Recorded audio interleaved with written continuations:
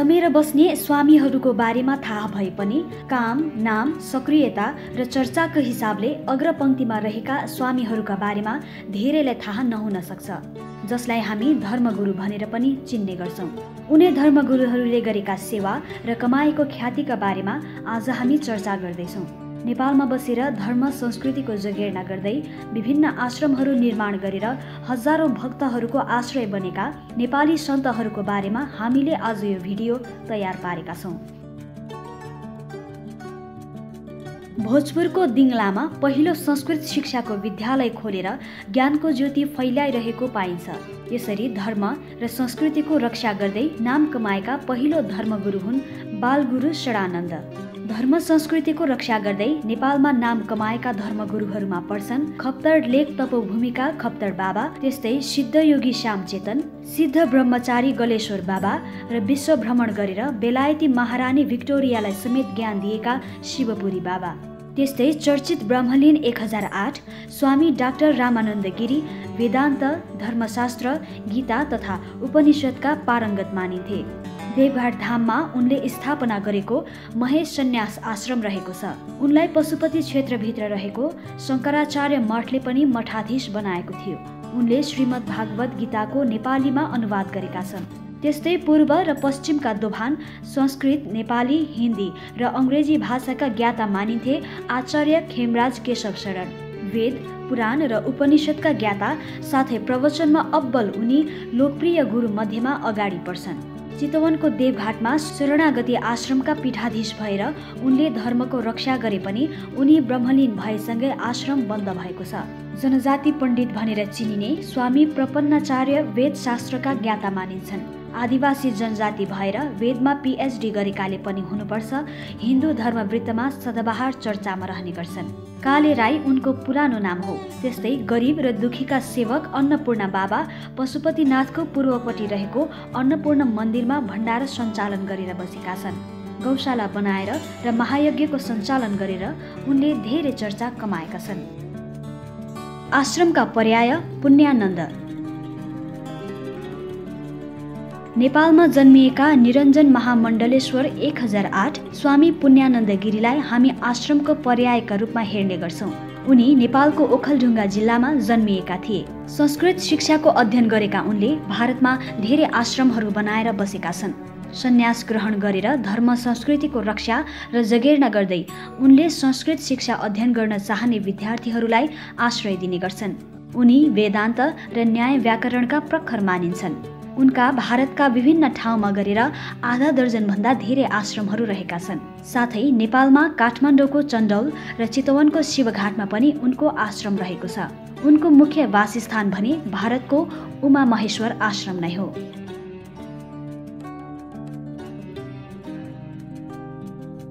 महामण्डलेश्वर स्वामी आत्मानन्द गिरी नेपालका एकमात्र महामण्डलेश्वर हुन् स्वामी आत्मानन्द गिरी। अनन्त श्री विभूषित महामण्डलेश्वरको पदवी पाएका स्वामी आत्मानन्द गिरी धर्म संस्कृतिको रक्षाका लागि निरन्तर खटिरहेका छन्। देवघाट धामको गलेश्वर आश्रमका पीठाधीश स्वामी आत्मानन्द गिरीले आश्रमका साथै वृद्धाश्रम बनाएर पनि सामाजिक सेवामा लागि परेका छन्। उनको देवघाट धाममा मात्र होइन पोखराको भलाम म्याग्दीको गलेश्वर र ललितपुरको बागडोलमा पनि आश्रमहरू रहेका छन्। धर्म संस्कृतिको रक्षाका निम्ति आफ्नो सम्पूर्ण जीवन एक फकिरको रूपमा बिताएर समाजको सेवा गर्दै हिँडेका स्वामी आत्मानन्द भक्तहरूका आश्रय मानिन्छन्। उनले संस्कृत पढ्न चाहनेहरूका लागि संस्कृत विद्यालय खोलेर संस्कृत शिक्षाको ज्ञान बाँड्ने काम गरेका छन्। स्वामी आत्मानन्द गिरीको देवघाटमा रहेको गलेश्वर आश्रमले उत्तर मध्यमासम्मको संस्कृत शिक्षा प्रदान गर्दै आएको छ। देवघाट धर्मार्थ अस्पताल खोलेर पनि उनले निशुल्क सेवा दिने गरेका छन्। साथै वृद्धाश्रमहरू खोलेर उनी वृद्ध वृद्धाको बुढेसकालको सहारा बनेका छन्। हरिहर आश्रमका पीठाधीश ज्ञानानन्द सरस्वती। हरिहर मन्दिर हरिहर सन्यास आश्रम देवघाटका पीठाधीश हुन् एक हजार आठ स्वामी ज्ञानानन्द सरस्वती त्रिपुरेश्वर स्वामी आश्रम बागलुङ नवलपरासी र काठमाडौँको धापासीमा आश्रम सञ्चालन गरेर बसेका स्वामी ज्ञानानन्द देवघाटमा प्रमुख आश्रम बनाएर बसेका छन्। उनको आश्रमले बनाएको परमानन्द संस्कृत विद्यापीठमा शास्त्रीसम्मको संस्कृत शिक्षा पढाइ हुने गर्दछ। धर्म संस्कृतिको रक्षा र जगेर्ना गर्दै अहिलेसम्म धर्म परम्परालाई अँगालेका स्वामी ज्ञानानन्द सरस्वतीलाई समाजसेवी भनेर पनि चिनिने गरिन्छ। विभिन्न आश्रमहरूको स्थापना गरी हरेक ठाउँहरूबाट अनेक सेवा प्रदान गर्दै आएका ज्ञानानन्द समाज सेवाका प्रतीक मानिन्छन्।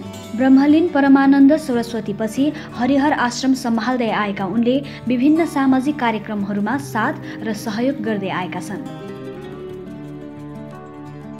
ओसोका उत्तराधिकारी स्वामी आनन्द अरुण।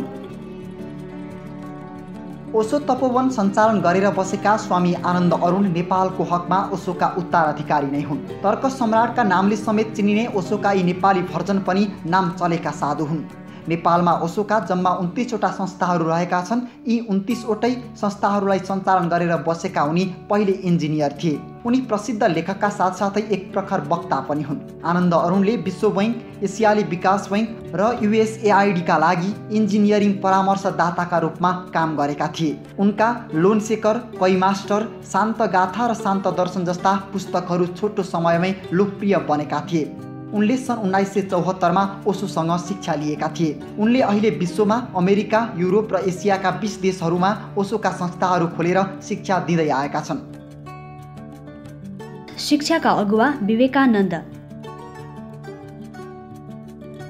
पचासभन्दा बढी धनधान्याञ्चल महायज्ञ सञ्चालन गरेर विभिन्न सामाजिक कार्यमा सक्रिय स्वामी विवेकानन्द सरस्वती चर्चामा आइरहन्छन्। रूपन्देहीमा रहेको दुर्गा वैद्य परमानन्द आश्रमका उनी आश्रमाधिपति हुन्। रूपन्देहीमा आश्रम बनाएर धर्म संस्कृतिको रक्षा गरेर बसेका उनले संस्कृत शिक्षा अध्ययन गर्नका लागि इच्छुक विद्यार्थीहरूलाई ज्ञानको उज्यालो ज्योति छरिदिने काम गर्छन्। उनले आफ्नो आश्रममा उच्च शिक्षा दिनका लागि विद्वान शिक्षकहरूको समूह नै खडा गरेका छन्। विद्याको ज्योतिलाई सबैको मन मस्तिष्कमा भरेको कारणले नै उनलाई शिक्षाका अगुवा भनेर चिन्ने गरिन्छ। नेताहरूका नजिक कृष्णदासजी नौ दिनसम्म माटो मुनि बसेर तपस्या गरी जमरा उमारेपछि कृष्णदासजी महाराजको चर्चा भयो। जगद्गुरु रामानन्द पीठका यी पीठाधीशले माओवादी अध्यक्ष पुष्पकमल दाहाल प्रचण्डदेखि सबैजसो पार्टीका नेता तथा कार्यकर्ताहरूलाई चतहरा धाममा उतारिसकेका छन्। विज्ञानका विद्यार्थी भएर एकाएक योगी बनेका कृष्णानन्दले साँच्चीकै चमत्कार गरेको बताइन्छ। उनले नवरात्रमा आठ दिनसम्म माटो मुनि रहेर तपस्या गर्दै जमरा उमारेका थिए। नौ वर्षको उमेरमा घर छोडेर अध्ययनको सिलसिलामा हिँडेका उनी तिस वर्षपछि मात्र नेपाल फर्केका थिए। उनी अहिले नेपालको चतराधाममा आश्रम बनाएर बसेका छन्। अहिले उनले संस्कृत शिक्षाको ज्ञान दिने काम गरेका छन्। महेश आश्रमका पीठाधीश स्वामी रवणानन्द। महेश सन्यास आश्रमका पीठाधीश एक हजार आठ स्वामी रवणानन्द गिरी पनि संस्कृत क्षेत्रका विद्वान मानिन्छन्। ब्रह्मलीन एक हजार आठ स्वामी डाक्टर रामानन्द गिरीले स्थापना गरेको उक्त आश्रमका उनी पीठाधीश हुन्। स्वामी डाक्टर रामानन्द गिरीको स्वर्गारोहणपछि उनको काँधमा आश्रम सम्हाल्ने जिम्मेवारी आएको थियो। सानै उमेरदेखि संस्कृत शिक्षाको अध्ययन गर्दै आएका उनी धर्म संस्कृतिको जगेर्नाको निम्ति अहिले पनि उत्तिकै क्रियाशील छन्। स्वामी चन्द्रेश काठमाडौँको बुढा नीलकण्ठमा आश्रम सञ्चालन गरेर बसेका स्वामी चन्द्रेश पनि धेरै सुनिने नाम हो भारतमा संस्कृत अध्ययन गरेर धर्म संस्कृतिको रक्षा गर्दै उनी अहिले पनि धर्म संस्कृतिलाई जोगाउनतर्फ नै लागि परेका छन्। उनी लगभग सबै क्षेत्रका ज्ञाता मानिन्छन्। बङ्गाली संस्कृत हिन्दी र अङ्ग्रेजी भाषाका ज्ञाता उनी अहिले चर्चित धार्मिक क्षेत्र बुढा नीलकण्ठमा रहेको आश्रम सञ्चालन गरेर बसेका छन्। धर्म र संस्कृतिको रक्षा गर्न लागि परेका स्वामी चन्द्रेश भारतको बङ्गालमा जन्मिएका हुन्। भारतको बङ्गालमा जन्मिएर पनि उनले नेपालमा आएर अहिले धार्मिक क्षेत्र बुढा नीलकण्ठको सम्वर्धन तथा संरक्षण गर्दै धर्म र संस्कृति बचाउन लागि परेका छन्।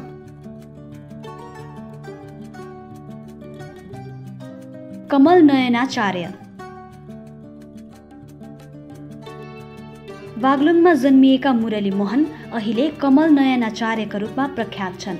बाह्र वर्षको सानो उमेरमै घर छोडेर भारतको बनारस अध्ययन गर्न गएका उनलाई अहिले संस्कृतका विद्वान मानिन्छन्। विक्रमसम्म दुई हजार छप्पन्न सालमा भक्तपुर पसेका उनले अहिले भक्तपुरको सरकारी वन छाया बस्तीमा आश्रम बनाएर बसेका छन्।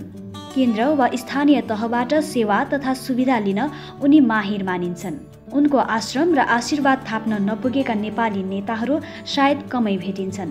उनको आश्रममा आशीर्वाद थाप्न पूर्व राजा ज्ञानेन्द्रदेखि प्रधानमन्त्री केपी शर्मा ओली पुष्पकमल दाहाल प्रचण्ड वामदेव गौतम प्रकाश शरण महत सुजाता कोइराला लगायत समेत पुगेका छन्। कमल नयनाचार्यसँग अथाह शक्ति भएको पनि जानकार बताउने गर्छन्। बालसन्त मोहन शरण देवाचार्य जगद्गुरु श्री बालसन्त मोहन शरण देवाचार्य हिन्दू धर्मका प्रखर विद्वान सन्त तथा नेपाल देशका निर्वाक सम्प्रदायका प्रथम जगद्गुरु हुन्। नेपालको पूर्वी भाग मेची अञ्चलको झापा जिल्लाको बुधबारे गाविस स्थित तीर्थमय भूमि कमलाधाममा विक्रमसम्म दुई हजार तेत्तिस सालको बाला चतुर्दशीको रातमा आमा तुलसा भट्टराईको गर्भबाट जन्म लिएका थिए। बालसन्तले पच्चिस वर्षको कलिलो उमेरमा नै नेपालको बराहा क्षेत्र सुनसरी स्थित चतराधामलाई प्राचीन हरिद्वार भएको कुरा सिद्ध गर्दै उक्त ठाउँमा पहिलो पटक विश्वको पाँचौँ कुम्भ मेलाको आयोजना गराई। काशी लगायत विश्वका विशिष्ट धर्माचार्य एवं आधिकारिक वैदिक सम्प्रदायका जगद्गुरुहरूका बिचमा शास्त्रार्थ गराई उक्त कुम्भलाई अनुमोदनका साथै स्थापित गराउन सफल भए। पछि उनलाई काशी पण्डित सभाले जगद्गुरुको उपाधि प्रदान गरेको थियो।